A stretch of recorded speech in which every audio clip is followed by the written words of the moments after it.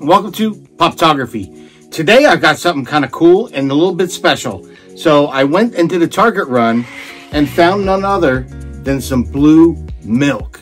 So I haven't even opened it up. I was going to open it up uh, with you and uh, let you know what it tastes like and uh, what I thought.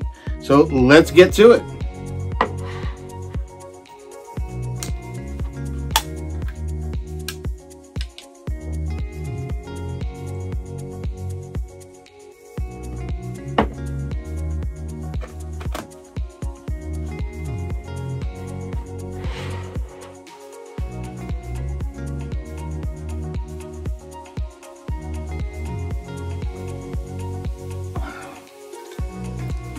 Not bad. Not bad.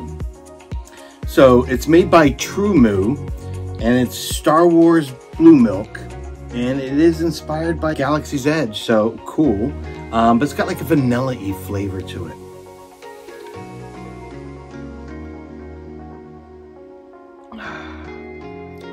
Not bad, not bad.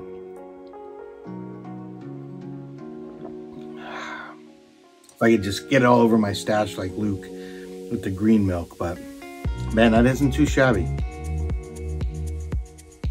So, anyway, if you're out and about, I happen to be doing a Target run today and uh, came across this, so kind of cool.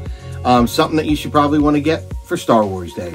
Anyway, if you enjoyed the content, hit the like, definitely hit subscribe so you don't miss the next episode of Poptography. Until then, may the force be with you.